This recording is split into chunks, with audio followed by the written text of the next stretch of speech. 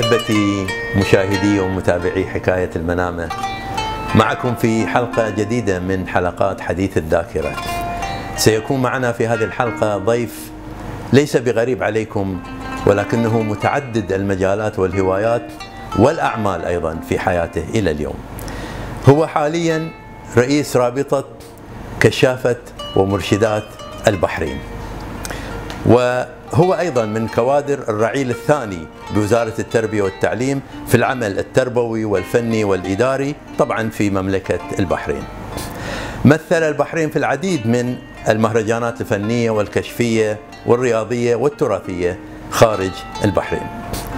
أيضا هو عاشق للموسيقى بجميع أنواعها وأضيف لكم من الشعر بيت ومصمم شعارات أيضا فهو فنان تشكيلي من الدرجة الأولى. كما شارك وحصل على العديد من الجوائز في المعارض الفنية الكثيرة المتعددة التي شارك بها داخل وخارج البحرين تفوق حوالي 30 معرض فني. عاش في أبو ظبي سنوات وفي فرنسا عاش 16 سنة. وسنتعرف على تأثير هاتين المنطقتين عليه خلال هذا اللقاء.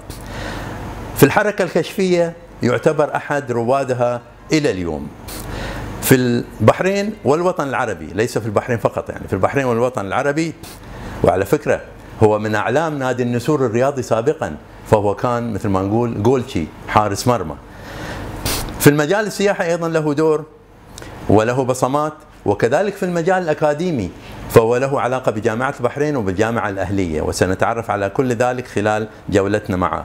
مواهب ونشاطات متعددة ومجالات متعددة. إنه الرائد الكشفي والفنان التشكيلي والمدرس سابقا والأكاديمي والتراثي والسياحي الفنان الأستاذ أحمد أمين الخاجة. سنقف معه في الدقائق التالية من حديث الذاكرة.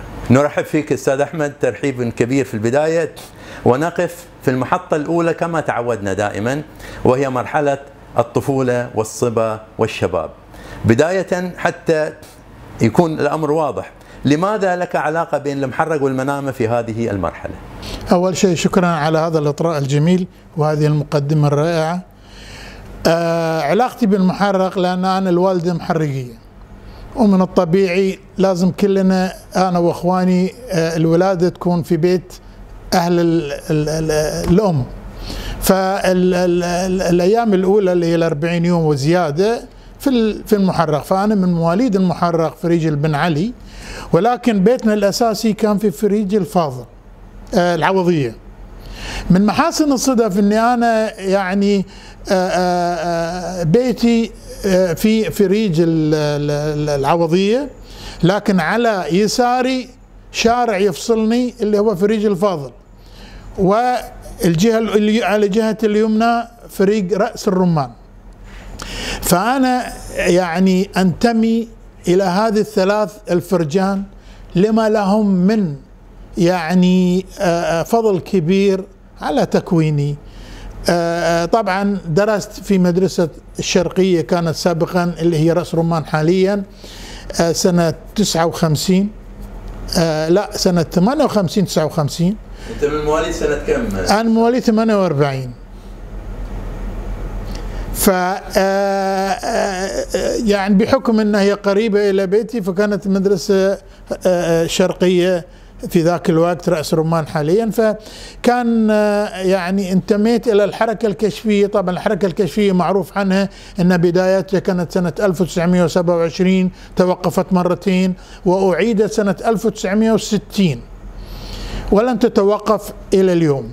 فطبعا كان أول قائد لي الأستاذ عبد الله الذوادي الله يطول بعمره كان هو اللي جمعنا وكانت الملابس وكل شيء على حساب الوزارة. فسنة 59 وزعوا علينا الملابس نهاية 59 بداية 60 بدا بدأت الحركة الكشفية. تدب فتعلمت من الأستاذ عبد الله القيم والمبادئ السامية الكشفية وحب الكشفية وحب الواجب وحب الوطن. ولكن الأستاذ عبد الله لن يطول كثيرا. عقب سنتين انتقل إلى مرسى الغربية واجى قائد آخر يسمى ياسر الشمسي من الحد. آه هذا الأستاذ حقيقة كان أكثر من رائع لأن تعلمت منه يعني تكملة الأستاذ عبد الله اللي علمني إياها. احترام الكبير والعطف على الصغير وأداء الواجب والمواعيد احترام المواعيد. وكان يلبسنا الملابس الكشفية طول اليوم. ننظم الطابور الصباحي وفي الفصحى وفي آخر الدوام. فكنا نلاقي احترام كبير من جميع الطقم التعليمي بما فيه المدير ومن الطلبة نفسهم وأولياء أمور الطلبة. عزز لنا يعني الحياة الكشفية أصبحنا نشعر بأن إحنا قاعدين نسوي شيء إلى إلى إلى إلى مدرستنا وبالتالي إلى هذا المجتمع الصغير. فبدأت الحياة الكشفية بالنسبة لي يعني تدب هذه بالنسبة للحياة الكشفية. بالنسبة إلى آه، الحياة الرياضية كانت مدرسة رأس الرمان اللي هي شرقيه سابقة كان أحلى وأجمل وأروع المدرسين موجودين. جاسم ياسين عملاق الحراسة في البحرين كان أحد المدرسين في التربية الرياضية. كان جاسم الأمير ذو الخبرة الطويلة آه، في آه، في التعليم وفي الرياضة. وكان أستاذ سعيد العرادي. هذه الثلاثة يعني بلوروني تماما. فكانوا يعني عندهم أحسن اللاعبين على مستوى البحرين يعني لاعبين الترسانة لاعبين النسور لاعبين التاج آه، لاعبين العربي كلهم في هذه المدرسة كانوا يدرسون. فيعني كنا آه، آه، كانت هذه المدرسة يعني تاخذ الجوائز كلها في كرة اليد في الطائرة في الريشة وفي القدم.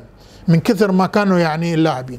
فطبعا لا أنسى الدكتور الأستاذ آه، مديرنا عدنان شيخو صحيح إنه كان شديد وصلب وما قصر علينا ما في أحد يعني ما صادت الخرزانة منه. لكن طلع جيل. هذه المدرسة حقيقة طلعت جيل يعني آه، فعلا جيل لا يستهان فيه. اللي أصبح طيار. واجمالا مو بس الفرجان الثلاثة العوضية والفاضل ورأس الرمان طلعوا جيل يعني بالمئات طلع من الوزير والمحامي والطيار والفنان والموسيقي والشاعر والأديب والكاتب كل كل الثقافات خرجت من هذه الفرجان الثلاثة. فأنا طبعا أيضا ان هذه الناحية الرياضية، الناحية الفنية تتلمث على يد الأستاذ الله يرحمه آه، عبد الكريم البسطه. كان عبد الكريم البسطة أحد المدرسين المخلصين الأوفياء لم يبخل عليه في يوم من الأيام لا في لون ولا في بالعكس كان كنا نرسم حتى بعد الدوام نرجع المدرسة عندنا رسومات. فعلمنا كيف نقدر آه، آه، أول ما كان في كنفس فكان ياخذ إشراع مال قوارب ويسوي frame ويشدهم ويجيب بيض يشيل المحاح البيض ويخلي البيض ويعلمنا شلون نحط البيض الماي البيض عقب ما يعني ونرش على اللوحة. تصير اللوحة هذه مثل الطارة. ونحطها في الشمس ثم بعدين نرسم عليها. فتعلمت منه أشياء كثيرة جدا. لم يبخل يعني لن أنسى هذا الرجل لأن حقيقة أعطى كل ما يملك بصدق وأمانة للفن. وأنا مديون له. معروف إن شارع يعني فريق راس رمان كان معروف عليه شارع الفن أو فريق الفن. عيال البسطة وعيال حبيل ومجموعة كبيرة جدا آه، من الفنانين التشكيليين البحرينيين بجميع الخزاف والنحات والرسام والخطاط كلهم من رأس الرمان. يعني تخرجوا منهم أساتذة وفنانين كبار آه، آه، من هذا الفريق. فأنا يعني استفدت جدا من ثلاث أشياء الفن والرياضة والكشافة من هذه المدرسة مدرسة رأس الرمان آه طبعا البدايات حياتي في في فريق الفاضل كنا نلعب في مع فريق الفاضل مع فريق آه آه كان عيال تقي مسوين فريق. آه فريق كرة قدم. وكنا صغار نروح نلعب في الفرجانه هناك. وطبعا معروف في ريج الفاضل شنو الفرق اللي كان في ترسانه كان في الجزائر كان في الوثبة يعني الفرق وفي اليرموك. إحنا كنا في اليرموك. فجاسم ياسين بحكم القرابة إنه يصير هو يعني ولد عمي فقال لي أحمد أنا بوديك حق جاسم معاودة النسور. قلت له أنا أروح النسور؟ النسور كان حلم. قال لي اخليك تروح النسور وتلعب في النسور. قلت له ما بيقبلني أنا توني. قال لا ما عليك. راح كلم قال هذا ولد عمي وأبي يصير خليفتي في الحراسة. سنة كم هذا كان؟ هذه كان سنة 62 كان تو النادي عندنا أشبال صغيرة. عادة النادي كان فريق ثاني وبدأ آه، آه، بدأوا يسوون فريق الأشبال فكنت أنا معاهم من البداية. استلمني جاسم المعاوده فكان يعني انتقالنا إلى إلى إلى مرحلة الكره مع جاسم المعاوده، جاسم المعاوده لن يكن مدربا فقط. حقيقة هذا الرجل مهما تكلمت عنه لا يمكن أوفي حقه لأن هذا الرجل كان أب أخ صديق مدرب تعلمنا منه كلنا ذاك الجيل الكرة مفاهيم الكرة قيم الكرة مبادئ الكرة احترام المواعيد كل هذه بالنسبة لي سهلة لأن تعلمتها في الكشفية. آه، بالإضافة إلى أنه آه، قوانين لعبة الكرة آه، التدريب التحكيم العلاج الطبيعي. أنا أخذت منه أيضا العلاج الطبيعي. كنت أروح أشوفه شلون يعالج وأتعلم منه وهو لن يبخل على أي واحد فينا. فأذكر التمرينات اللي اللي, اللي, يوم يوم التمرين اللي عندنا. لو تشوف طال عمرك الجمهور بس في يوم التمرين كأنه مباراة. جميع المدربين للفرق محرق ودون استثناء أسماء كل الفرق الكبيرة اللي في البحرين يجون يشوفون جاسم المعاوده شنو يدرب لاعبين نادي النسور. نادي النسور كان مدرسة يعني. كان مدرسة. وأنا اي بقولها هو هو المايسترو كان مدرسة. والسبب إنه كان جاسم معاوده كان مدرس في مدرسة الصناعة كل ثلاث شهور يروح ألمانيا. وتعرف على خيرة المدربين في الفرق الكبيرة. فكل لما يروح لما يرجع بأفكار جديدة وتمارين جديدة وكان يطبقها. واحد من اللاعبين ذو ذكر اسمه قال له شلون الحين انت تجي تدربنا وتتعب علينا وتروح تسافر وتجيب لنا الافكار وإحنا نلعب؟ واكو كل المدربين مال. مال البحرين يجون يجلسون فوق سياراتهم ويسجلون كل ذي. قام ضحك. قال أنا أدري إن كلهم. وأنا لما أجي أنا قصدي أرفع من مستوى كرة القدم في البحرين وليس في نادي النسور فقط. هذا الرجل له فضل كبير على الكرة البحرينية بشكل عام.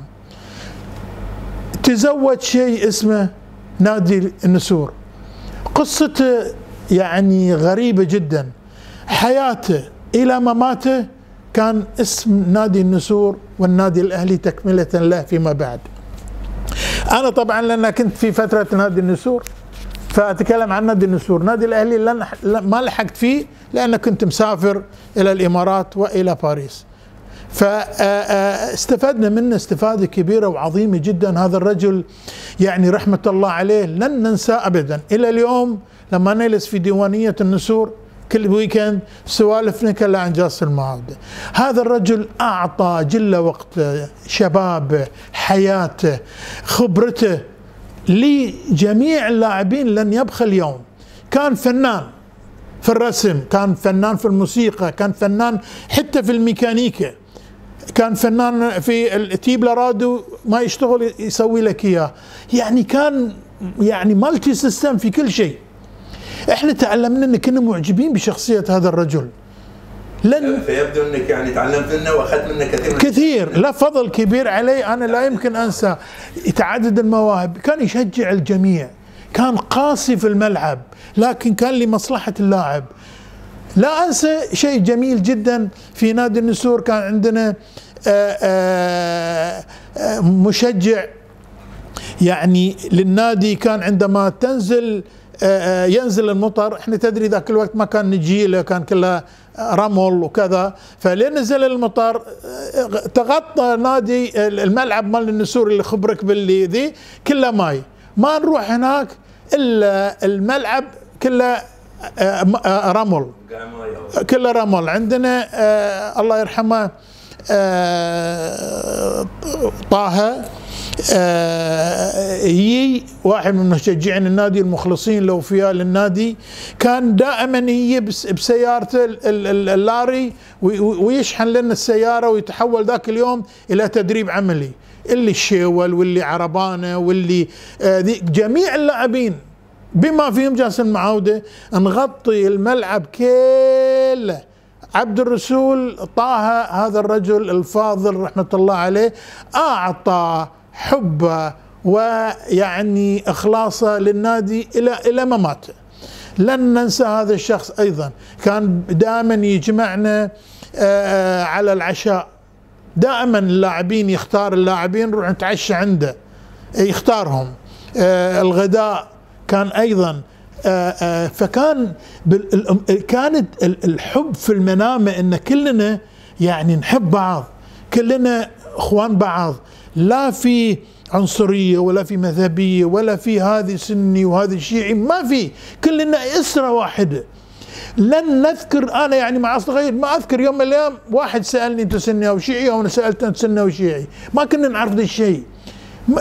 يدخلون بيوتهم نروح بيوتهم في فيلج راس رمان في في وتدري نادي النسور يعني ذاك الوقت كانت كان عندنا يعني الفرق معروفة. فكل اليوم اللي عندنا مباراة كل القرى في البحرين اللي في المنامة كانت تأيد نادي النسور. فتلقى يعني جمهور النسور كبير جدا ولا يزال كبير جدا على الرغم من للأسف الشديد ما عندهم اليوم نتائج. لكن روح شوف الجمهور مالهم. في كره السلة في كره الطائرة في كره القدم هم أكثر جمهور عندهم. إن شاء الله هذه الألفة دائما مستمرة بين الشعب البحريني.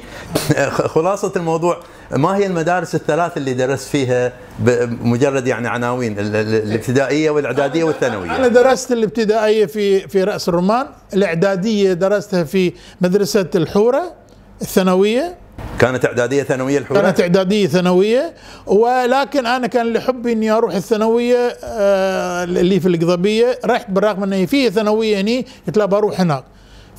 فرحت هناك وكان المدير آه آه جميل الجشي رحمة الله عليه هو طبعا هذا الرجل الفاضل يموت في شيء اسمه النسور ورجل أبها في في علم الكرة والرياضة بالذات كرة القدم. رجل قانوني فقال لي لا أنا أبغيك تي عندي لأن أنا أحتاج حارس حق ال حق ال الثانوية. ورحت عنده. ف طالب ولا كمدرس؟ لا طالب. طالب. فطبعا استلمت الرياضة واستلمت الكشافة واستلمت الفنون كلها في هذه المدرسة. في هذه المدرسة استلمني أستاذ إسحاق خنجي رحمة الله عليه وأستاذ عبد العزيز زباري رحمة الله عليه والأستاذ حسين شرفي حسين السني رحمة الله عليه. هذه كلهم عمالقة. فطبعا أكيد يعني كنا أنا وأحمد باقر الله يرحمه كنا من الطلبة البارزين. وشاءت الأقدار أن نلتقي أنا وأحمد في باريس لدراسة الفنون أيضا. سنة كم تخرجت من الثانوية؟ يعني تركت الدراسة تماما. يعني 67 أستاذ سيف كان يعني معجب بنشاطي وكذا. زي بصبر مسلم. قال لي أحمد أبيك تشتغل عندنا في المكتب. قلت له بدرس. قال لي ما علي تشتغل عندي سنة سنتين وبعدين بخليك تروح تدرس.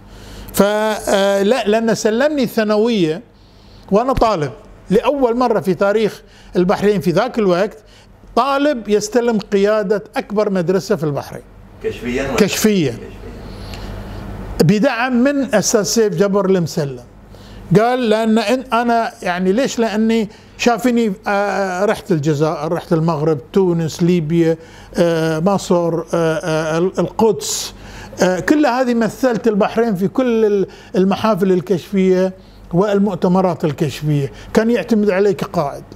فبعدها شافني لا أميل إلى التدريس قال لي أحمد أنا ودي تكمل معي بس أنا برجع على رغبتك أنت تبي تروح تدرس ف ودوني مدرسة مدينة عيسى الثانوية الإعدادية الثانوية. الإعدادية كانت الثانوية إعدادية. إعدادية. من كان مدير هذاك الوقت؟ كان مدير الله يرحمه آه، مصطفى جعفر مصطفى جعفر أيضا درسني بعد في نفس المدرسة مدرسة ال- ال- ال- رأس الرمان فيعني عارفني وكان يعرف إخواني ويعرف الأسرة فيعني آه، آه، رجل فاضل حقيقة وهو اوريدي كان أحد القادة الكشفيين من الأوائل مصطفى جعفر كان أحد القادة الكشفيين الأوائل آه، آه، اللي, الحركة الكشفية انطلقت سنة 1927 هو اللي عقبها سنة 45 أستاذ أحمد أمين الخاجه نعود الآن إلى عملك الأساسي وأيضا هوايتك التي تحولت إلى عمل.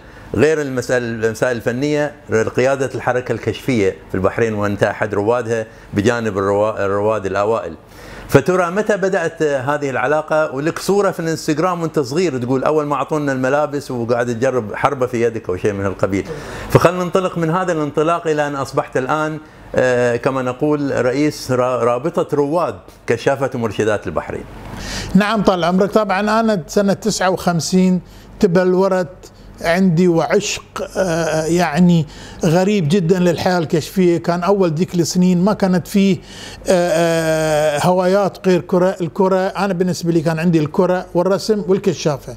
59 يعني 11 سنه عمرك تقريبا؟ إي كنت صغير. ذاك الوقت الصورة واضح إن أنا كنت صغير. لا أزال يعني كنت في ذاك العمر كنت صغير. لكن وجدت ضالتي لأن الحركة الكشفية يعني تعلم حقيقة الشاب الصغير تعلم الوطنية حب الوطن الإخلاص ال- ال- التفاني الإنكار الذات العطف على الصغير احترام الكبير مساعدة الجميع يدك ممدودة لكل محتاج. في قيم هي قيم إسلامية. لكن جميل إن إحنا يعني تعلمناها عن طريق ال- الحركة الكشفية. آه، طبعا تبلورت آه، الحركة الكشفية عندي وزادها ثقة أستاذ سيف وأستاذ محمد صالح عبد الرزاق وحسين شرفي بتكويني وثقافتي في ذاك الوقت كوني رياضي وكوني آه، فنان وذي. فلما تصير يعني سفرة تمثيل البحرين في الخارج كنت أنا أول واحد أكون موجود دائما. يعني رحنا فلسطين. هذه سنة 66 قبل احتلالها بأقل من سنة. يعني القدس الشريف. القدس الشريف.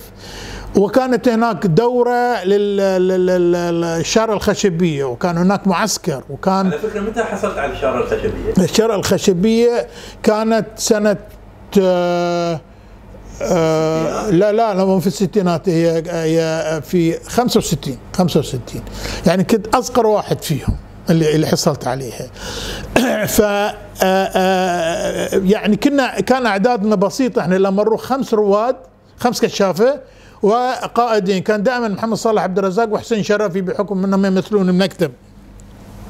سافرت مع محمد صالح وحسين شرفي أيضا للجزائر. سافرت معاهم إلى مصر.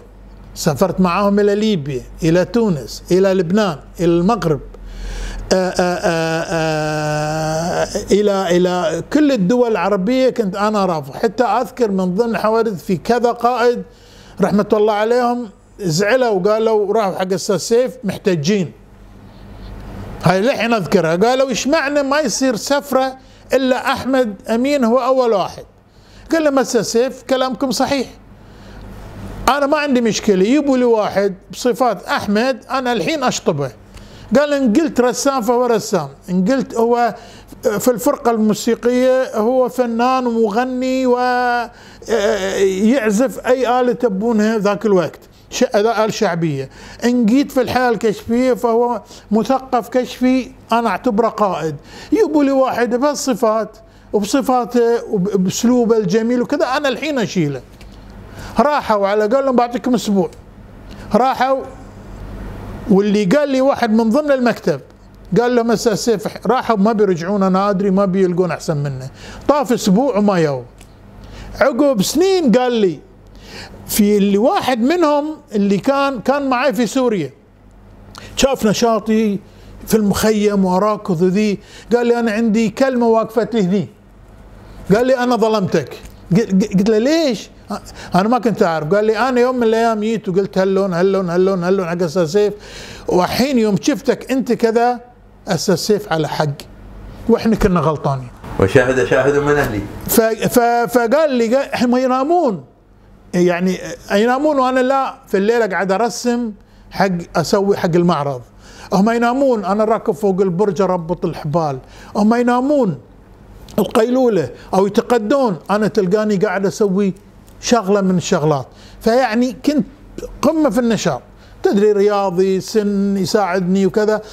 فحبي للحركة الكشفية شيء كبير. طبعا تطورت الحركة الكشفية وصارت ورحت أنا سافرت إلى إلى الإمارات وبديت هناك. طيب أح- أستاذ أحمد قبل لا نتكلم عن الإمارات وفرنسا آه، أصدقائك وربعك اللي وياك في الحركة الكشفية في البحرين تذكرهم؟ أذكرهم وكلهم معي الحين في الرواد جبتهم. تقريبا منهم. من وايد عندنا طال عمرك يعني عندي عندنا مثلا خميس المقهوي عندنا عبد الرضا آآ آآ عبد الرضا أكبر عندنا آآ عندنا من ضمنهم اللي هو مهدي الماحوزي عندنا عبد الرحمن فخرو عنبر آه، مبارك عندنا آه، حقيقة يعني أخاف أني أنا أنسى أحد فيهم بس هم كلهم موجودين. كل اللي كانوا معي في في آه، في الثانوية عبد الحميد سعيد معنا كل يعني جاسم الكعبي جاسم لا جا سلمان الدلال. بالضبط. كاسم لا هو جا- جاسم جاسم الكعبي كان معي رحنا سافرنا مع بعض إلى إلى إلى ال- إلى إلى, إلى فلسطين. كان معي يعني كنا طلبة. إيه، طبعا القادة اللي لا يزالون هم أحياء وال- وربي يطول في عمرهم. حسين شرفي أستاذ محمد صالح عبد الرزاق آه عندنا آه، سلمان الدلال عندنا إبراهيم البلوشي عندنا الأستاذ عبد الرحمن الشوملي. طبعا هذين الأربعة الأستاذ محمد صالح عبد الرزاق مسكين صحيا تعبان حسين شرفي بالرغم على أنه هو تعب ومرضه إلا أن في تواصل يسألني عن الرابطة. آه، وإحنا دائما نقول له شنو يسوي شنو إحنا سوينا وكذا يعني تقرير شبه آه، أسبوعي. عندنا إبراهيم البلوشي كذا متابع لكن صحتهم دي الوحيد اللي واستاذ سلمان كذلك صحتهم يعني ما يقدرون يجون بشكل دائم. لكن إحنا ما ننسى فضلهم فإحنا نزودهم برامجنا في الرواد. الوحيد اللي اللي اللي لا يزال صحته أحسن من البقية الأستاذ عبد الرحمن الشوملي وهو خلينا رئيس فخري لنا لأنه هو قائد محنك ولا تاريخ وهو داعم معنوي ومادي لنا. فهذين الباقي الأربعة. لن ننسى ابدا الأستاذ كمال سلمان كمال رحمة الله عليه راشد السوار لن ننسى آه، آه، أحمد جناحي. آه، كل اللي توفوا ذلين العمالقة نذكرهم دائما فهم يعني كان لهم دور كبير في تاريخ الحركة الكشفية في مملكتنا في البحرين. فاحنا يعني أصبحنا الجيل الثاني لكن إحنا مكملين للجيل الأول. مكملين الأول يعني أنا أحمد ربي الحمد لله آم، هذه ثالث دورة أنا أعين فيها آه، كرئيس لرابطة آه، رابطة رواد آه، كشافة. ثالث دورة الحين صار لي تسع سنين يعني. فطبعا أنا دائما أقول لا أترك المجال للآخرين وأعتقد إن هذه بتكون آخر دورة على أساس أترك المجال للآخرين لأن في هناك كثيرين حقيقة يستحقون أيضا هذا المركز. ليس أنا أحسن منهم لا والله ولكن هم مصرين على أني أنا أبغى. في حين إن في هناك ناس عندنا تاريخ كشفي. بالنسبة للأستاذ آه، آه، آه، الكعبي للأسف الشديد لأنه هو صحته مو بزيادة. دائما يعتذر لصحته لكن هو متابع معنا جاسم متابع معنا حتى من يومين كان بيني وبينه تليفون. إحنا دائما ما ننسى من ضحى بوقته بجهده بإخلاصه بعطائه بولائه للحركة الكشفية. دائما. نعود معك أستاذ أحمد إلى محطة ومرحلة أخرى. ومهمه أيضا وهي الفن التشكيلي وأنت ما شاء الله مشهور فيها. لأن ملاحظتي في هذه المحطة إن أنت واجد معجب بتصوير ورسم الخيول. ولك حتى بورتريهات كثيرة في الخيول فترى تحدثنا عن علاقتك بالفن التشكيلي يعني كيف بدأت ولماذا هذه هذه الأجواء وبالذات الخيول الجامحة حتى عندك يعني مو الهادئه الواقفة لا اللي فيها جموح وفيها حركة يعني شكرا على هذا السؤال. أول شيء أنا أنتمي إلى عائلة فنية فيعني كان والدي الله يرحمه كان يعني آه، آه، أيام شبابه كان يرسم. وكان عندي أخوي الأكبر علي أمين. كان يجمع في بيتنا في الميلس اللي هو كان في في في فريج العوضية كان يجمع خيرة الفنانين التشكيليين. أنا أذكر منهم اثنين أذكر عبد الله المحرقي وأذكر أصغر مجيد أصغر. وأذكر في فنانين آخرين بس أنا ما قاعد أشوف اختفوا من الساحة. هذا لين كان يجون يرسمون في الميلس. أبوي الله يرحمه كان يجي لهم في المغرب وكان يعني يجلس يشوف شنو رسوماتهم شنو طريقة الرسم وكذا ويتناقشون كنت أنا صغير وأجلس وأسمع وأحلم في يوم من الأيام أن أمسك الريشة. أحلم في يوم من الأيام أن أكون فنان تشكيلي مثلهم. يعني تشعر بالموهبة ده؟ أشعر بهذه الموهبة. وحقيقة في المدرسة طبعا كان لي دور كبير والمدرسة دائما هي المكتشف الأول لكل الفنانين. اللي هي مدرسة رأس رمان. مدرسة رأس رمان أول شيء اللي كانت دي كان عبد الله الذوادي كان آه، فيها وسوى مسابقة لأحسن رسمة في جائزة. فأنا أذكر أول رسمة هذه نزلت حمامتين قاعدين يأكلون حب. وكتبت تحتها دوق معايا الحب هي على أغنية أم كلثوم دون معايا الحب. فما أدري لأن دوني في الطابور الصباحي وكذا ويا الدكتور يا الأستاذ آه، الله يرحمه عدنان شيخو وكرمنا ورواه وحطوها. هذه في هذه كان أول حافز لي. استلمني طبعا آه، إسحاق آه، خنجي واستلمني عبد الكريم البسطة رحمة الله عليه. وبديت هني أنا يعني بس أنا كان وأنا صغير كان عندي حلم كبير إني أصل إلى باريس. قبل ما أنتقل إلى النقطة هذه أنتقل إلى نقطة إني أنا أيضا محظوظ لأن من عائلة فنية فتلقى إخواني إخوي خليل إخوي عزيز إخوي عبد الله أولادهم خواتي بناتهم. زوجتي فنانة أيضا محترفة وترسم بجدارة. آه، هي من عائلة جناحي. يصير يعني من عائلة جناحي فهي أيضا فنانة وترسم. وهذه بعض لوحاتهم اللي الحين موجودة هني اللي تحب الخط رسم الورد تحب الخيول آه، ترسم الكثير. وبنتي شاءت الاقدار أيضا إنها تدرس في جامعة ال ال ال الأهلية تدرس هندسة ديكور وكذلك ترسم. فأصبحت أنا من عائلة فنية يعني سواء كان ال ال عيال خواتي إخواني ذي أسرتي اللي أنا أنتمي لها زوجتي وأنا فنرسم. بالنسبة إلى سؤالك ليش أنا أرسم الخيول؟ أنا من قبل ما كنت أرسم الخيول لأن الخيل يراد له وقت طويل. الخيل حيوان جميل وذكر في القرآن. أنا دائما كنت أحلم على أني يكون عندي فراغ أرسم الخيل. دائما كنت موظف ولما أرجع البيت تعبان والخيل يراد لأن الخيل. فيه عضلات أكثر عضلات في الحيوان هو الخيل أكثر حتى من النمر والأسد. العضلات اللي موجودة في جسمه لأن كل عضلة تشكل له تشكيلة للحصان. ليوناردو دافنشي ذاك في ذيك السنين عشان يرسم الخيل درس تشريح الخيل سبع سنين. إحنا لأن اليوم تطورت اليوم صار عندنا كتب اصدرت في الإنترنت في أمور كثيرة. حتى أنا عندي حصان آه، من خشب أنت تحركه بالطريقة اللي تبي وتوقفه وتعطيك الهيكل الخطوط الأساسية وبعدين ترسمه. لكن يوم صارت جائحة كورونا وواحد صار جالس في البيت قلت أعتقد أن هذا هو الوقت لرسم الخيول لأن في وقت كثير. فبديت أرسم الخيل. ليس أنا مختص في رسم الخيل لأن الخيل آه، حصان جميل. ومهما يعني رسمته فأنت تتعايش مع هذا الجمال. يعني كأنك ترسم بنت جميلة. الحصان دائما كأنك قاعد ترسم بنت جميلة. يعني تشوف شعرها مثل شعر البنت ذيلها يعني جسمها حركاتها الوانها عيونها يعني معروف عن الحصان إنه ولكن أنا ليس فقط الحصان يعني أنا لي رسومات كثيرة.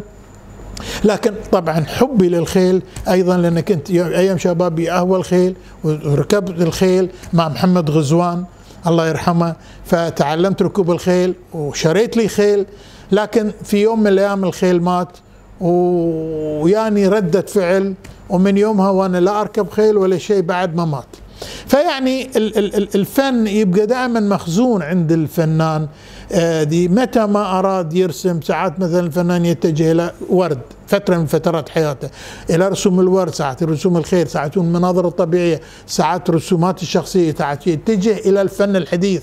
هذه هي الميول والمراحل اللي تمر عليه مثل ما مر عليها بيكاسو مثل ما مر عليها الفنانين الاخرين أيام عهد النهضة. فهذه تمر بدون ما إحنا نخطط لها. فهذه بالنسبة. طيب هذا الفن هل هو له علاقة بسفرك إلى أبو ظبي وفرنسا؟ وأيضا رسمك للشعارات والبورتريهات أنت اشتهرت في هذا الموضوع. بالضبط. أنا سفرتي أساسا إلى أبو ظبي لن تكن إلا لسبب واحد وهو الحصول بعثه لي من فرنسا إلى فرنسا. هني والدي ما كان موظف بسيط كان يشتغل في أرامكو وإحنا عددنا تسعة بين أولاد سبع أولاد وثلاث بنات فما يصير. يقول لي هاك انت روحوا فرنسا معروف عليها هي البلد الغالية. كنت أنا أشعر بخجل إني أطلب من أبوي بروح فرنسا. وعلاماتي لا تسمح لي على إني أنا أحصل على على إني أحصل على 99% أو 98% علاماتي يعني ذاك الوقت يا دوبها تكفي النجاح. فرحت أبو ظبي وكان هدفي هو أني أستطيع أثبت وجودي هناك وأحصل على بعثه. رحت هناك وأنا طبعا ما كنت عارف من من الأسبوع الأولي بدأت الفرق اللي موجودة الصغيرة سمعوا عني إن أنا حارس النسور بدأوا يجون فأنا رحت إلى فريق يسمونه فريق ال ال ال الأهلي عندهم. وبديت ألعب، سمع وزير التربية والتعليم إنه إني أنا حارس مرمى وأشتغل في وزارة التربية ورحت له ناداني قال لي شو قايل يا أبو أمين؟ يعني ليش يا أبو أمين تشت... تروح النادي الأهلي وما تجي فريقي؟ قلت له أنا ما أدري إن أنت عندك فريق. قال لا أنا عندي فريق يسمونه الخالدية. وإحنا مو أوكي مع الأهلي دائما يعني ننافسهم. لا أنا أبغيك تكون عندي في الفريق. أنا لأني لي أهداف أخرى اللي ذكرتها من ساعة. أريد رضا الوزير. قلت له أبشر على الخشم. رحت. نفس اليوم العصر قلت له بس أنا أبي ما أبي ألعب. غير بدل فلوس بنعطيك. ما أدري شنو. قلت لا أنا خلاص. رحت حق الوزير حق الوزير. قلت له اعتبرني معاهم كلمهم. رحت التدريب. ما كان عندهم حارس بديت أدرب الحراسة بديت اللي خذيته من جاسم المعاود رحمة الله عليه بديت أطبقه هناك. قوانين الكرة نظام الكرة آآ آه، آآ آه، آه، الإسعافات. الإسعافات ما كان عندهم إسعاف. كنت أنا المعالج. كنت لي جاسم المعاوده وأخذ أنواع الأدوية كلها. وجاسم المعاوده كان مشهور في دواء رش. هذه يبنج إذا أي إصابة تصيد اللاعب يرش ريوله وينزل مثل الصاروخ. حتى نادي محرق يقولون شنو هالدواء هذه السحري اللي تو طايح ورد يلعب. فجاسم ما كان يبخل علي فكان يعطيني اسم هذا الدواء وأخذ الأدوية وأودي هناك اعالج فيها فصبرت ويبني الدوري لهم ثلاثة مواسم. هذه قبل الاتحاد على أيام أبو ظبي. ناداني الوزير في يوم. قال لي أحمد أنت كنت كابتن الفريق وأنت ما قصرت مع الفريق جبت ووديت وحطيت ودربت وذي. أنا أبغي أكافئك مكافأة خاصة مني. يا أشتري لك سيارة يا أعطيك قطعة أرض يا أعطيك فلوس. تسافر قلت له طال عمرك لا بذي ولا ذي ولا ذي. قال لي إيش تبي عيل؟ قلت له أبي أسافر فرنسا. كان في بالك ان تسافر تدريس؟ أنا من كثر ما على بالي صرت صديق رئيس البعثات في وزارة التربية اسمه حسين. نسيت اسمه بس اسمه حسين حسين والله على بالي الحين بقول لك حسين أبو علي. هذه رئيس البعثات كان. عرفت ان في بعثتين ما حد رايحها إلى فرنسا. بس ما كنت أقدر أقول له. هو يا بهلي قال لي قلت له ترى حسين ابو علي أكو رئيس البعثات في بعثتين إلى فرنسا. يا ريت تسمح لي ان أحصل على واحدة قال صدق والله شال التليفون؟ تعال يا حسين يا حسين.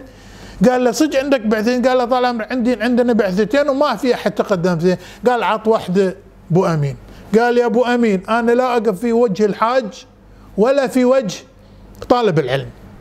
قلت له لك مني وعد إن إذا الله كتب وعشت لأرجع إلى أبو ظبي وأخدم في هذا النادي. حصلنا على بعثة قال إيش كثر يعطون هذا الكلام كان؟ هذه كان 71 71 قال بس في شرط واحد. هذه حسين يقول له. قال له لازم خلال عشرة أيام يكون أحمد في باريس. إلا قال لي تقدر قال لي قلت له لو تبي باكر. ما شاء الله. على طول انهيت كل شيء وجيت البحرين وفاجأتهم ان أنا عندي سفر. قبل ما أنسى قال إيش كثر يعطونا؟ قال يعطونا على حساب هذه بعثه فرنسية يسمونها بوكس آه يعني فرنسي آه اللي هي التعليم عليهم يعطون 700 فرنك قال لا ما تكفي. سووا بعد بعثة من عندنا من الوزارة زيادة على على الذي اللي هو 1000 درهم. عاد ذيك السنين 1000 درهم و700 تعيش ملك هنا. والله وجيت وخلصت ورحت فرنسا. وفرنسا عشت 16 سنة كانت أحلى أيام العمر. هناك بديت يعني أدور الفنانين الكبار أروح أتعرف عليهم أجلس معاهم سواء كان في فن التصوير الفوتوغرافي في فن الجرافيك في النحت في أنواع الفنون. أروح مراسمهم هم بعاد عن باريس بالساعات أروح لهم. تعرفت عليهم في جامعة البوزار. نبذة عن جامعة البوزار. جامعة البوزار تعتبر هي أقدم جامعة على مستوى العالم والجامعة اللي تخرج منها بيكاسو نفس هذه الجامعة. درست فيها هي نفس هي هذه دراساتي فيها كانت كلها.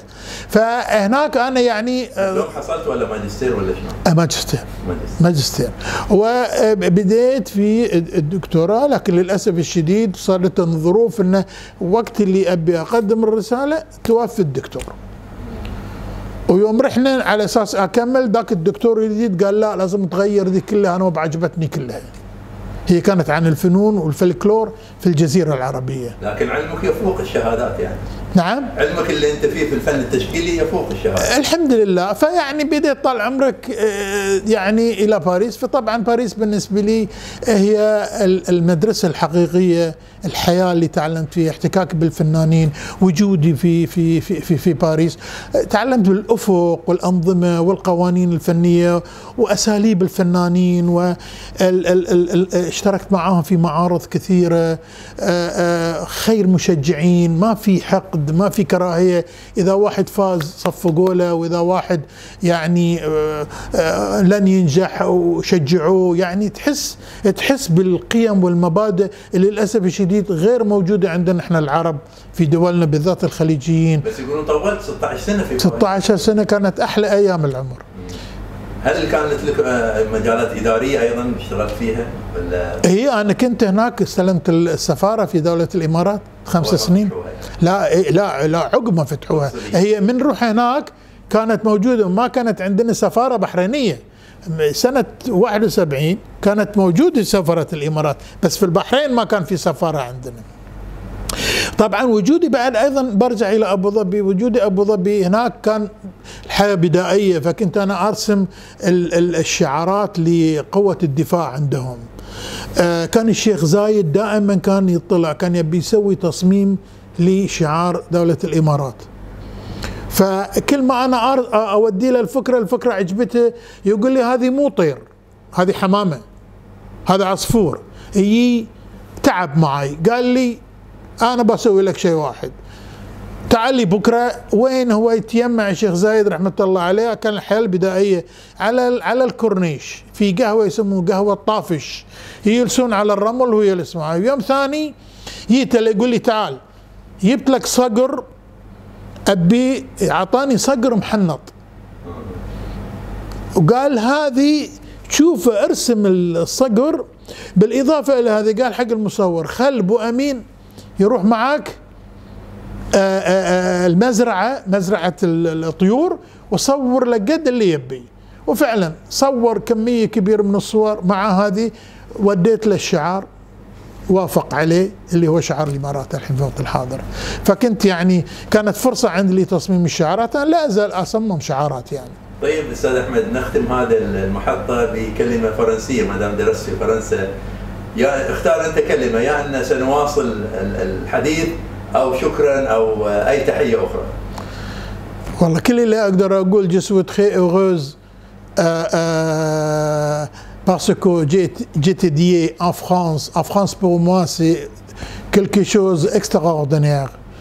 Je, je, ne peux pas oublier euh, qu'est-ce qui est présenté pour moi, tout le français. قلت يعني أنا سعيد جدا على أني أكون في فرنسا وسعيد جدا أني تلقيت العلم الفني من فرنسا وشكرا للشعب الفرنسي على أني أنا يعني تثقفت منه وخذيت كل النواحي الفنية منه. نوقف عند المخيمات الكشفية، قديما كانت المخيمات الكشفيه أشبه بالكرنفال، فيها كل شيء، فيها تمثيل، فيها موسيقى، فيها فنون تشكيلية، فيها طرب، فيها غناء، فيها كل شيء يعني. لك صورة في هذا المخيم الكشفي آه كما ذكرت الآن وإحنا نسولف في الستينات آه وأنت في موقف كوميدي معك عيسى المقهوي وعبد الرضا أكبر. فشنو حكاية هذا الموقف وسنة كم كان؟ هذه الصورة كانت سنة 75 آه 65 sorry. كانت سنة 65 وكنا في في حفلة سمر وين المخيم؟ المخيم كان في الصخير. أكثر مخيمات كانت تكون في الصخير. لأن مساحة كبيرة وفيها أبار ماي وكذا. يعني كانت الأمور كانت المخيمات في السابق حقيقة أنا أعتبرها مهرجان سنوي. كان تعج بالجمهور بأولياء أمور الطلبة يبدؤون يوم من من العصر وما يتركون إلا في الليل عقب حفل السمر. فكان حفل السمر حقيقة يعني مهرجان من ناحية التمثيل الغناء الطرب الرقص الصيحات النكت الألعاب. نستعد لها طول العام للمعسكر السنوي اللي يصير في عطلة الربيع. وكان مدته 14 يوم 13 يوم. يعني كنا لما نروح نخيم نترك أهلنا طول هالمدة. لذلك أهلنا يشتاقون لنا ويونا المعسكر ويونا فهذه الصورة خرجنا عن الناس. عبد الرضا صاد شد في ريوله صاد شد ويصرخ شاد شاد شاد شاد وعيسى يقول يعني الحين المفروض إن إحنا نطقه. وأنا أبزخ فيه. وعيسى يبزخ فيه ومسكين يصرخ. شاد فريولي شاد فريولي إحنا عبالنا إنه هو يعني من ضمن ال الذي طاح وإحنا بركنا فوقه وطق فيه. عقب ما خلصنا بيقوم وما قاعد يقوم يصرخ يقول أقول لكم ريولي. صادني شد في العضلة. بعدين عرفنا ها من ضمن النوادر اللي صارت. بس في حادثة بعد اشتركنا في معسكر في قطر. وكان هذه أول سفرة لنا عقب ترجيع العلاقات القديمة مع قطر. كان معسكر كشفي عربي في قطر. رحنا وكان معنا إبراهيم البلوشي الله يطول في عمره ومحمد صالح عبد الرزاق. رحنا في لنج إلى إلى إلى إلى قطر. وعقب ما خلص المعسكر رجعنا. آه كان آه الصحو والجو وكذا في نص الطريق انقلب الجو رأسا إلى عقب. صار كل موج تضرب فوق وتنزل تحت. تضرب فوق وتنزل تحت. انكسر الدقل بحارة طاحوا في البحر أمور كثير انكسرت. طاح العفش اللي في اللي في ذي. طبعا إحنا كنا صغار. محمد صالح أيس كل اللي كان جالس يمنه تشهدوا وتشهدوا تشهدوا وتشهدوا يعني وصلنا إلى مرحلة الموت. كان المفروض أربع ساعات توصل البحرين. وصلنا عقب تسع ساعات بالضبط اللي اللي سبحان الله يعني إحنا متنا إلا اللي شلون نجينا هذه بعج- باعجوبه لا ننسى هذا ال- الموقف ال- ال- ال- المخيف كان. يعني أنا لاول مرة أشوف يعني موج يمكن حول 20 متر. فوق ال- ال- ال- القارب تنزل والقارب عبارة عن لعبة صغيرة في عرض البحر وفي الليل و وشيء شيء لا يوصف منظر لا يمكن ننساه. طبعا معاي عيسى آه، مقهوي آه، عيسى خميس محمد صالح عبد الرزاق معاي الله يرحمه آه، صالح المحميد. معنا أيضا كان آه، آه، خالد مسامح بعد رحمة الله عليه توفى آه، إبراهيم بن بلوشي. ف يعني اللي إحنا إحنا نذكره بالصور عندي مجموعة صور تحكي هذا الموضوع. لما نجلس مع محمد صالح قبل الفترة هذه حتى يقول يقول إحنا يعني متنا وانكتب لنا عمر جديد. طيب من ضمن الذكريات أيضا في الإنستغرام وفي في الحركة الكشفية أساسا سفرتكم إلى الجزائر وفلسطين. في الجزائر كان وياك القائد والله يعطيه الصحة والعافية آه، حسين شرفي. وفي فلسطين كان وياك مجموعة من ضمنهم كمال وجاسم الكعبي وأستاذ سلمان الدلال وآخرين يعني آه، عددهم آه، معروف. فترى ما هي ذكرياتك عن هذه المعسكرات؟ لماذا مميزة؟ أول شيء طبعا بشكل عام القدس مميزة بحكم ان يعني للأسف الشديد افتقدناها أصبحت اليوم صعب جدا زيارتها إحنا عشنا فيها 40 يوم كانت كانت من أحلى أيام العمر. كنا صغار. 66 ها كانت 66 67 تم ال- ال- ال- الاجتياح الإسرائيلي. كنا يعني أبرياء صغار. كنا نشوف القدس بجمالها نشوف نشوف يعني صخرة كانوا يقولون الصخره المعلقة و- والى آخره. كل هذه شفنا القدس جميلة. زرنا القدس أريحة ورام الله وبير كرم وط- وطور كرم والخليل ومدينة القدس. كل المناطق زرناها. يعني آه ولنا ذكريات جميلة جدا فيها لا يمكن ننساها. والقادة طبعا اللي كانوا معنا قادة لا يمكن يتعوضون أمثال أحمد جناحي أمثال كمال سلمان كمال أمثال حسين شرفي محمد صالح عبد الرزاق. عبد الله أبو زيد كان معنا وياسر الشامسي. هذولين آه، كانوا موجودين معنا يعني كانوا وإحنا كنا يعني أصغر منهم سنا. كانوا يهتمون فينا ويخافون علينا وصار حادث في يعني إذا إذا إذا تسمح لي أذكره المنطقة اللي خيمنا فيها في منطقة يسمونها بيت حنينة. هي تبعد عن القدس يمكن حول آه، ربع ساعة. المنطقة مليانة عقارب. نقوم الصبح علشان نهوي الخيمة تحت ال- الفرش مالنا وتحت المخدة وذي كل عقرب شكبره يذك اليوم كمال اللي يقول ما تلاحظون صار شيء؟ وأنتم ما تدرون. بقلنا ليش شنو؟ قال ما تلاحظون ان عقارب وايد. كنا إحنا قاعدين نشوف العقارب. قال ما تلاحظون إنه ولا ولا واحد فينا في المعسكر أنصاب بلسعة العقرب؟ قلنا له "إي والله فعلا. يلا تصبحون على خير. راح. يوم ثاني اللي جاي محمد صالح عبد الرزاق تدرون شنو صار؟ قلنا له شنو صار؟ قال لي يا عقرب ضرب واحد في خيمة آه، كمال سلمان كمال ضرب واحد سوداني في جبهته. ذاك صرخ وضرب طفر العقرب على من؟ على كمال. كمال سلمان كمال صادف في كتفه. صرخ سلمان كمال قطها على الثالث. ثلاثة في الطوارئ. قلت سبحان الله. يعني أنت امس جاي تقول حتى قلنا لي يا ريتك ما قلت. قال أنا إيش دراني؟ يعني هذه تم كمال سلمان كمال إلين خلصت الرحلة وهو مو بالقوي الأولي. يعني تدري بالرغم انه عالجوه وضربوا أوبر والى آخره ذي لكن تم مو بقوته الأولية. هذا من ضمن الذكريات يعني. وبالنسبه إلى الجزائر يعني آه، آه، آه، الجزائر أبدعنا أبداع رهيب لأن كان عندنا الكشاف أحمد الهرمي كان مشهور بالجربة الشعبية. وإحنا لما نروح هناك كل واحد فينا يعني يمسك له دور.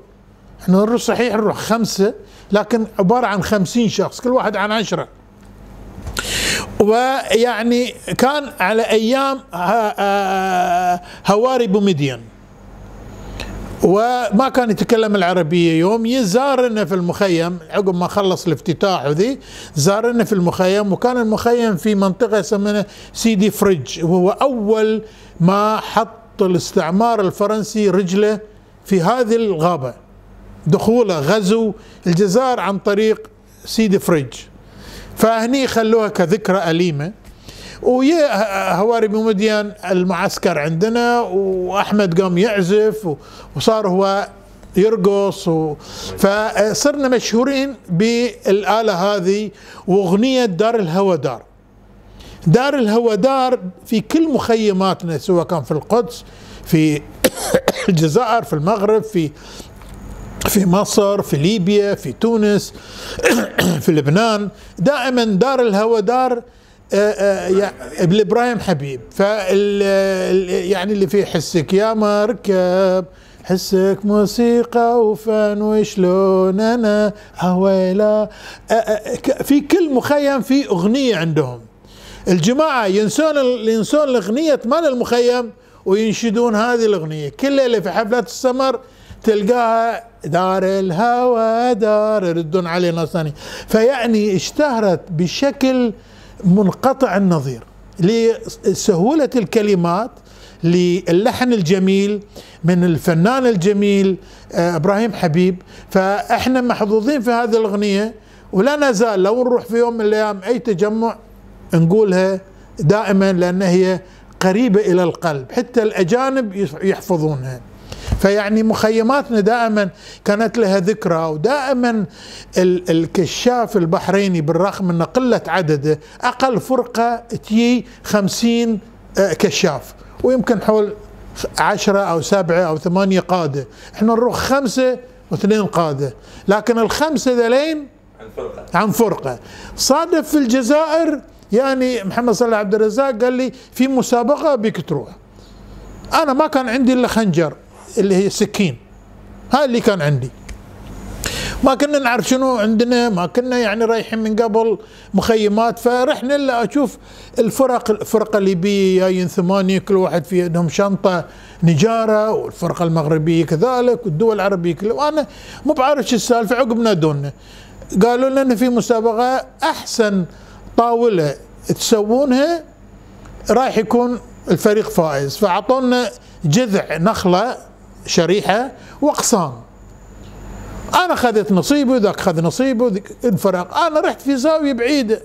الحين أنا عندي السكين بس لا عندي مطرقة لا عندي منشار لا عندي منقر لا عندي لا عندي يعني ورق شامي ولا شيء. ما ما, ما يريد إبداع. إي فأنا هني ما لي إلا أني أبدع. ما عندي شيء ثاني.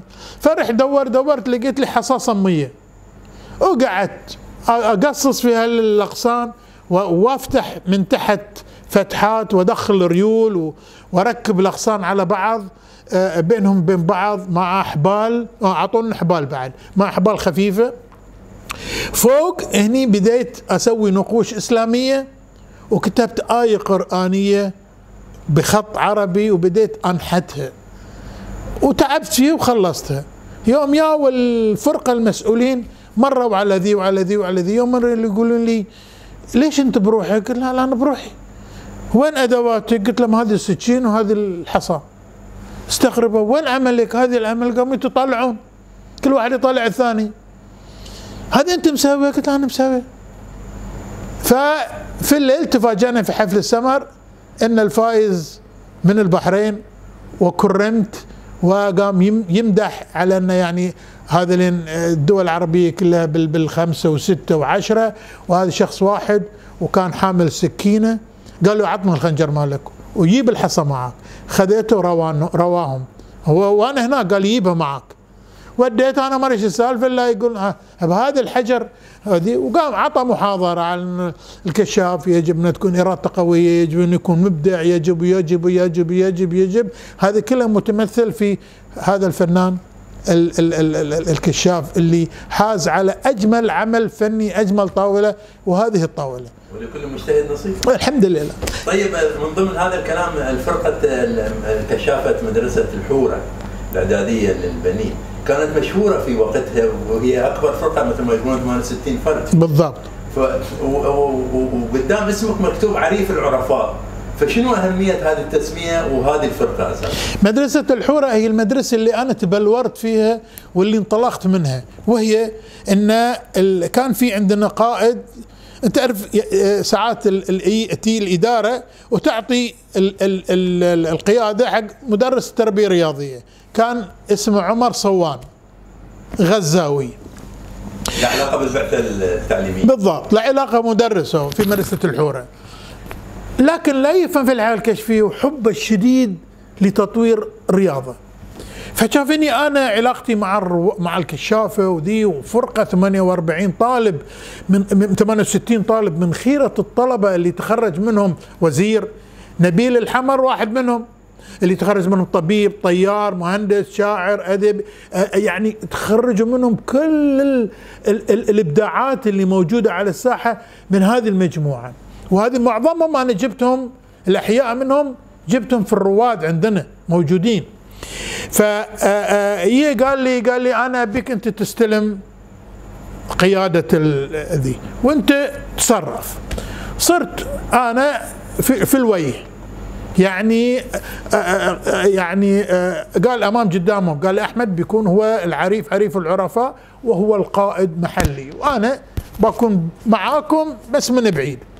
الغريب إنه يعني آه، آه، هذه أنا يعني صراحة اللي يمكن شجعني وايد ان جميع الكشافه اللي كانوا عبد الحميد سعيد محمود آه، آه، آه، آه، الجابر آه، عنبر مجموعة كبيرة جدا. جميع الكشافه أدوا لي احترام وحب. ما في يوم واحد منهم اعترض ان أنت مثلي انت أنت ال- اللي كشاف اللي أنت ابدا. حسيت يعني سبحان الله هبه من رب العالمين أنه سخر لي هذا ال- ال- ال- الكشافة. احترموني وحبوني وأنا أخلصت ولما نزلنا المعسكر العام كسرنا الدنيا في الرياضة في الكرة في ال- الحفلات السمر في الطرب لأن عندنا أحسن موسيقي في القانون محمود. كان أذكره. عندنا ممثلين عندنا مطربين عندنا مغنيين عندنا لاعبين كرة قدم عندنا فنانين تشكيليين. آه، هذه ال 68 من خيرة شباب أهل المنامة اللي كانوا. ف آه، آه، يعني آه، طلعنا توب. الجميع صار ينظر هني يعني آه، آه، أستاذ سيف رحمة الله عليه كان دائما يضرب مثل على انه يقول ترى يعني ساعات تحصل لك قائد ما, تح... ما لو تعصره ما تطلع منه شيء. ساعات تجي حق واحد من الكشافة يقوم بدور القائد والكشاف المثالي ولا على فكرة أنا ثلاث سنين متتالية حصلت على آه، الكشاف المثالي في صوره من الالبومات البومي الشيخ محمد بن آه، سلمان يكرمني في المعسكر. بهذا المنصب يعني. وعريف العرفاء إيش قصته؟ عريف العرفاء هو دائما يكون هو منصبي أنا عريف العرفاء يعني. أحسن من يوم صغير أنا حتى وأنا في الصف دائما يخلوني عريف الصف. سبحان الله.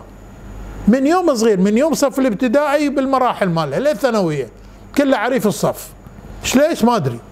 فعريف العرفاء هي رتبة على أنه يتحلى طبعا بالقيادة يتحلى بال- بالمثالية يكون طيب يكون خلوق يكون يكون يكون يعني هكذا. فهذه هو عريف العرفاء اللي هو تحت القائد يكون. هذا هو. طيب آه، أستاذ أحمد وإحنا راح نختم في مسألة الأبوة والعائلة الصغيرة، لكن من هذه الأبوة ننطلق إلى علاقتك بالأستاذين الفاضلين محمد صالح عبد الرزاق القحطاني وحسين شرفي. انت دائما تقول بأنهما من الآباء الروحيين للحركة الكشفية في البحرين. فترى ما هي ذكرياتك ال- البسيطة الآن هي عميقة جدا لكن إحنا نريد فقط البسيطة ال- ال- البس- ال- اللي ممكن نذكرها. أستاذ محمد صالح عبد الرزاق واستاذ حسين شرفي بحكم إني أنا عملت معاهم في المكتب الكشفي بأمر من الاستاذ المكتب سابقا هني آه، هم بدوا ي- طبعا يت- يتبعون نشاطي سفراتي معاهم احتكاكي دائم معاهم. يعني أنا شخصيا آه، مديون لهؤلاء الاثنين لل- لل- للأب الروحي الاستاذ محمد صالح عبد الرزاق الله يطول بعمره والأب الروحي الاستاذ آه، حسين شرفي اللي تربطنا بعلاقة قوية جدا إلى اليوم هذه. آه، آه، الله يعطيه الصحة والعافية. هذول يعني حقيقة لهم الفضل الكبير هؤلاء الاثنين في تطوير الحركة الكشفية ووضع الحركة الكشفية على الخريطة الكشفية على المستوى العربي والخليجي والعالمي. مثلوا هؤلاء الاثنين في جميع المؤتمرات العالمية والعربية والخليجية. على فكرة الأستاذ محمد صالح عبد الرزاق واحد من الأوائل اللي حصلوا على قلادة آه، الذئب. وهي أكبر قلادة يحصل عليها قائد كشفي عربي. فمحمد صالح عبد الرزاق وهؤلاء الاثنين هذين بالنسبة لي أنا أعتبرهم إخواني الكبار أو أبهاتي. آه، يعني لهم الفضل وتعلمت منهم الكثير بأخلاقياتهم بطيبهم بحبهم لأن هذين هم يجب أن لا يمكن ننساهم إحنا ابدا ولا الجيل اللي بعدنا لأن هذين أصحاب الفضل مع أستاذ سيف جبر المسلم في تطوير الحركة الكشفية طبعا مع بقية إخوانهم القادة اللي توفى منهم واللي بقى منهم. لكن هذه الاثنين بحكم مركزهم في وزارة التربية والتعليم محمد صالح يوم من الأيام كان هو مسؤول عن الحركة الكشفية. أنا سعيد جدا اليوم أن أكون أنا في هذا الموقف مسؤول عن عن عن عن الرواد. ومرحلة الرواد هي آخر مرحلة في تاريخ الحركة الكشفية. آآ آآ نحن نختلف عن الكشافة في الوقت الحاضر. ما لنا أي عمل مع الكشافة. الكشافة عندما كنا في الطلبة في المدارس. لكن آآ المرحلة النهائية هي مرحلة القائد. عندما آه، انت تكبر وتوصل إلى مرحلة التقاعد وهني خلاص ما عندك قيادة ما عندك شيء هني تتحول إلى آه، آه، رائد ورائده أو رائد. هني أنت تكون خبير للحركة الكشفية. هني أنت تمثل بلدك في المحافل الكشفية تساعد بأفكار تطور فيها الحركة الكشفية تطور فيها دور البحرين تثبت دور البحرين. أنا آخر مؤتمر آه، آه، اشتركت فيه بحكم يعني المركز اللي أنا فيه آه، كان في الكويت مؤتمر الكشفي العربي حضروا جميع الدول العربية ومثلت البحرين خير تمثيل في ال ال ال ال آه، في هذا المؤتمر. آه، طبعا في لي كلمة دائما أنا أقول الشكر الجزيل لمعالي وزير التربية والتعليم على آه، يعني تشكيل الرابطة وتشكيل مجلس الإدارة الحالي. هي حقيقة المجلس من نخبة من تاريخ القيادة العربية القيادة البحرينية آه، كلهم ما شاء الله عليهم يعني آه، نعمل. والبارحة كان عندنا محاضرة نحن لا نتوقف أبدا نشارك بجميع المناسبات الوطنية الخيرية. آه، في رمضان لنا سنوات كثيرة نجمع الفلوس فيما بيننا فقط بين الرواد مبلغ كبير ونسوي آه، آه، سلة رمضانية نسوي آه، كسوة العيد. أي أحد من المحتاجين نجمع له فيما بيننا مبلغ ونقوم بالواجب. نزور دور المسنين ندور دور العجزة نزور المرضى نساهم مساهمات كثيرة نعمل سفرات لنا بروحنا نطلع سفرات استكشافية. نمثل البحرين ك ك والبحرين الحمد لله إحنا يعني محظوظين لأن اللي قبلنا هم حطوا الخريطة. إحنا اللهم نكمل هذا الدور الكبير حتى أن يبدو دائما لما والبحريني معروف سفير لبلده. لما تقول بحريني قال لك بس هذا سواء كنت سائح سواء كنت انت كشاف سواء كنت لاعب كرة إلى آخره. البحرين في الخارج سفير لبلده بأخلاقه بطيبه بتواضعه بحبه بتفانيه. يعني هذا مفخرة لنا إحنا كبحرينيين إن عندما أي أحد يشوفنا سواء على المستوى الكشفي أو حتى على المستوى الخاص يعرف إنك من البحرين يعتز بك لأنك أنت يوم من الأيام كنت مجد من أمجادنا. إحنا ما نريد نتكلم عن الماضي البحرين لها تاريخ كبير في كل شيء. الحمد لله رب العالمين. يعني اللهم وبعملكم أستاذ أحمد دائما وابدا. نختم بالعائلة الصغيرة. آه، غير البيت العود والبيت الكبير اللي بدأنا فيه العائلة الصغيرة عائلة أحمد أمين الخاجة. آه، متى كانت وكيف تأسست؟ ومن هم الآن من رموزها اللي يشبهون أستاذ أحمد؟ والله طال عمرك الحمد لله رب العالمين. أنا طبعا تزوجت أه، بنت أه، جناحي بنت أبو بكر جناحي من 42 سنة. وطبعا أنجبت خالد وأنجبت بنتي غزلان. أنجبت بنتي غزلان. عندي ولد وبنت. خالد الآن يشتغل مدير ومركز مرموق في بنجلسكان ومسؤول على آه، آه، الشقق وبيع الشقق آه، في بنجلسكان والحمد لله يعني راضين عليه ومتفتح وراح درس في استراليا ورجع. بنتي غزلان أيضا درست في جامعة جامعة الأهلية هندسة ديكور وفنون. بنت لها علاقة بالفن التشكيلي لها علاقة بالفن التشكيلي بنتي عندها حفيدة عمرها سنتين ماخذة كل حياتي وولدي عنده ولد اسمه أحمد. ما شاء الله يعني الحين عمره تقريبا 13 14 سنة. لكن ما اورثت الحركة الكشفية وحبها في أحد يعني بس فقط في الفن التشكيلي والله أنا أحاول مع حفيدي يعني على أساس إن ذي لكن لأنه هو يدرس في كشاف صغير. لكن المدرسة مدرسة British الظاهر ما عندهم النشاط هذه. وبعدين يبون لنا بعد حفيدي جديدة. فخالد ولدي عنده بنت صغيرة ريم الحين توها ثلاث شهور ونص. وعنده أحمد ما شاء الله 13 14 وبنتي غزلان عندها هذه. يعني ابني لا يزال موجود معي في البيت وزوجتي طبعا تزوجت خارج البيت ونجتمع إحنا اسبوعيا مع بعض والحمد لله رب العالمين الأمور طيبة ويسودنا الحب حاليا رئيس رابطة رواد كشافات ومرشدات البحرين ما زلت تعمل في هذا الميدان حتى ولو تطوعيا. شكرا أستاذ أحمد على هذه الجولة في الواقع المشوقة وكان ودنا نطيل لكن الوقت محدود في البرنامج وتاريخك حافل. وحتى ما ذكرنا ان أنت كنت أيضا مدرس تربية فنية في جامعة البحرين ومهندس ديكور في جامعة الأهلية يعني آه، كثير من النشاطات بالإضافة لهذا. لكن فقط آه، أختمها في دي ما حاولت تلحن؟